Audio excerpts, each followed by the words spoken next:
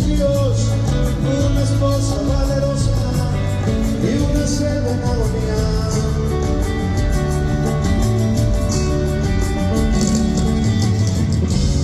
Cuando los ángeles